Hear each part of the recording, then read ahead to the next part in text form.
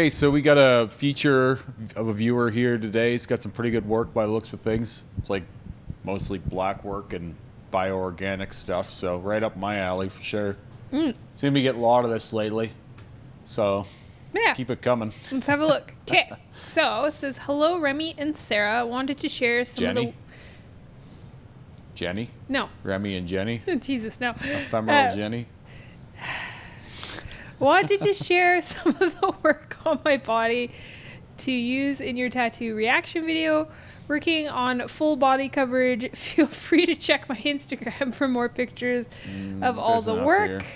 Um, and then most of my work is done by name on IG Fluent Tar Tattoo. Fluent Arts Tattoo. Hmm, sure. Back, right arm, armpit, and both hands. Um, Doctor or Mr. Dist, left leg. I hate these names. Uh, and David uh, Jokura. Yeah, so that was the guy last week we did a feature, and he Yeah. had like a bunch of work by him. So and then that says stuff. neck. Uh, keep up the good work. Best regards. Yeah, Uh, I actually just seen a, a piece by this artist in my feed this morning. So like circling the same drain, you know. I feel like I need to go give them a follow. Um, I like this stuff. I don't like it as much as what Masakrov is doing, and there there are obviously other guys as well, like uh, Immortal, and there's there's a few others, and I'm not going to name one of them because, uh, interestingly enough, he blocked my account because he got tired of people saying he was ripping off my bodysuit. Oh my goodness. uh, I will mention Ark's tattoo is Yes. another one that does that kind of stuff. yeah, put out put out the little olive branch. It's funny as fuck. I, I mean, I don't, I don't understand bl- like blocking me over that. Yeah. it's whatever. Let's be friends. I, I like that stuff more because it's got like a lot of red involved in it, and at times quite a bit of green and blue. But uh, yeah, the, I understand the need for the black and gray version of this. It's also um, softer overall look than and it, there are some white highlights here, but the the aforementioned artists prior, they uh, they tend to use opaques and white and stuff because Mostly it's cover up. it's mostly cover up. Yeah. Usually those guys are dealing with uh, cover up, so this is not as good for that because black and gray shades don't cover things the same. Right. Try and explain this to people all the time here because we do cover ups every day. Yeah.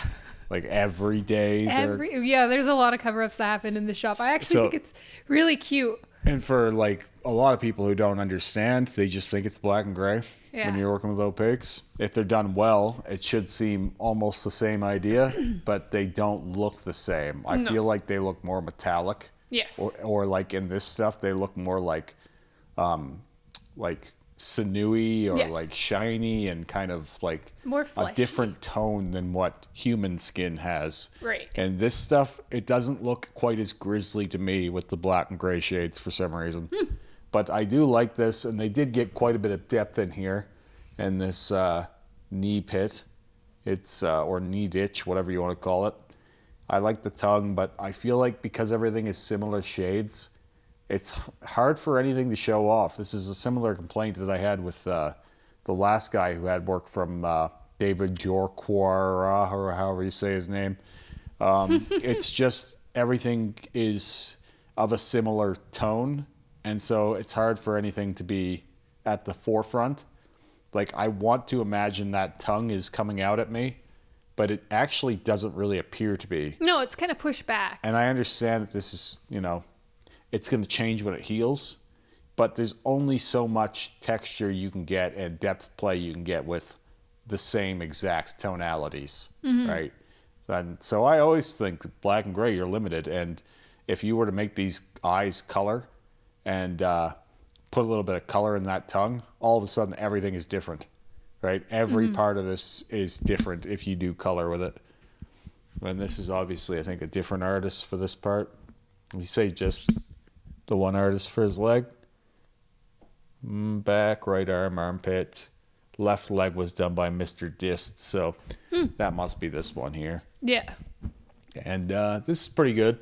I don't think it's as good as uh, the stuff that he has on the other leg, the David Jorcora or whatever.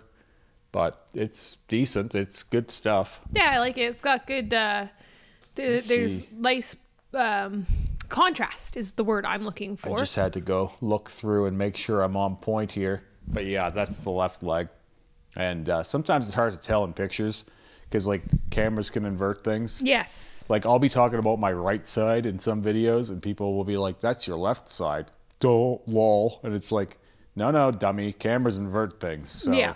it- when someone's talking about their right and their left, just trust them. They Unless probably know me. better than you I'm do. dyslexic. Wow, not everybody is. but yeah, this one's got pretty good contrast, but um, it's got a bit of less texture in the nose in particular. Like that nose looks pretty soft compared to the rest of them for some reason. Yeah, it's a like strange the- choice. The brightest point in the image for some reason. Yeah, but with that, it just looks a little forgotten about. Like for some reason, the rest of him is very textured, and his nose is not at all. Interesting. So yeah. it just looks a little different to me. I like how the neck is interwoven to the back, yeah. but I want to see more of the back. Do we get to see more of the back? Yeah. Okay, there you go. It's like a whole smorg of stuff back there. It's got this kind of disintegrated reality feel to it. I like the tentacles that are in the back there. Mm-hmm. Again, like this is perfectly illustrating my prior point on the leg. It was just just some color highlights in here. It would make a world of difference. I see more and more the longer that I do these, and obviously working in the shop, people are just so fucking afraid of color for some reason. Like they hate it. Like in the minute you bring it up, people are like, "Oh yeah, maybe a touch," but Yeah, I don't know why that is the case. There's like it's like seventy five percent of people hate color, and then there's that weird twenty five percent. I think it's more like than seventy-five percent based so? on what we're booking in here. Oh yeah. Oh yeah, there's like black and gray everywhere. We're and not then- really the color shop though. But yeah, but even then, like the the you could say that, but like when you look at the scope of what's available in tattooing, almost all of it is black and gray. Mm. Like it just on a broad. Other than that, it's like neo trad and trad. I mean, as an it. artist, as an artist, uh, I think that black and gray is easier. It is easier and it takes way less time to do. Yeah. Although some of this took quite a bit of time to do. Oh yes. There's actually quite a bit of complexity to some of this. When I say it's easier, I'm not trying to like minimize how tricky it can actually be. I just like as as a trying to tattoo myself, I get really pissed off at colors real quick. It's harder to saturate and Well, I also more think time. that for you, and- you're not going to be getting as much practice with color when you have effectively less people asking for Yeah. it too. So when you do color, it's like now and then, whereas you're working in black and gray all the time, right. and that's just the way it is. I I think like the they've done some things to keep the tentacles apart from the background, but it took longer for me to see, particularly the tentacle parts down here where all the cubes are kind of dispersing or whatever. Mm-hmm. It took me longer to see that those tentacles were coming out of that than I would like Yeah. because Me too. it's just so hard to pull and push things apart here when you only have so much tonality different, right?